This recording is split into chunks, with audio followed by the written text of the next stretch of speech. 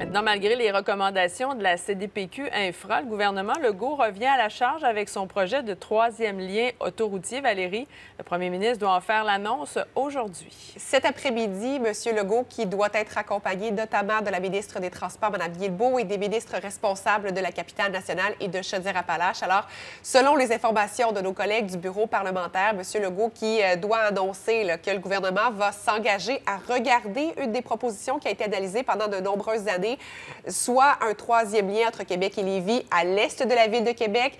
Euh, concrètement, on parle du corridor qui relie le secteur de la sortie Monseigneur-Bourget sur la rive sud à la croisée euh, de l'autoroute 40 et de Dufresne-Montmorency sur la rive nord.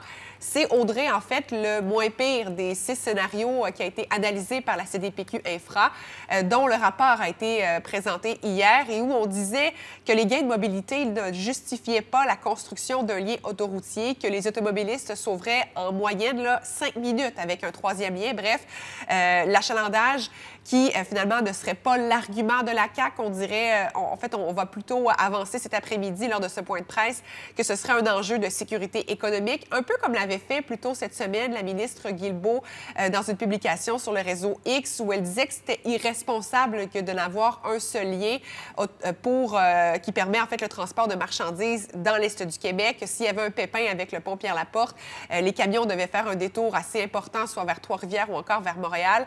Bref, ce sera annoncé cet après-midi. Et c'est pas tout, Audrey. Le gouvernement Legault va aussi donner le feu vert à ce projet de transport structurant proposé par la CDPQ Infra, un plan à 15 milliards de dollars sur 15 ans qui inclut notamment un tramway, également un réseau de SRB. Et là, la grande question qui se pose ce matin, Audrey, on sait que le gouvernement fédéral prévoit investir, financer une partie de ce projet.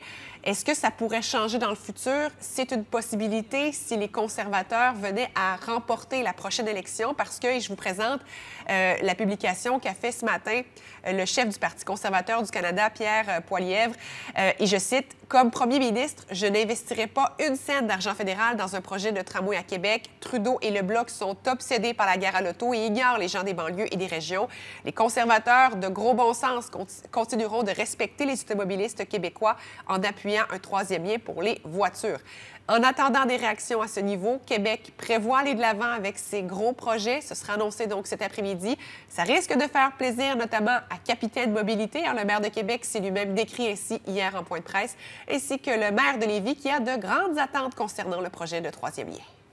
C'est la victoire d'une ville qui se met en mouvement, qui a un plan par une organisation indépendante qui vient dire il y a des besoins.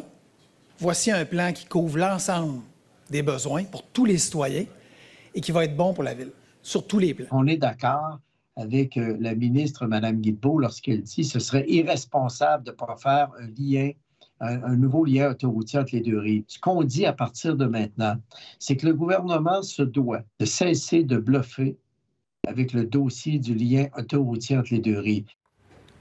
Alors, il aura l'heure juste, le maire de Lévis. Cet après-midi, le point de presse est prévu à 13h30. On est encore loin de la pelletée de terre, par contre. Il hein. faudrait être patient. Oui, il n'y a pas d'échéancier non plus qui sera annoncé par le gouvernement Legault. Alors, euh, à suivre. Merci, Valérie. Au revoir.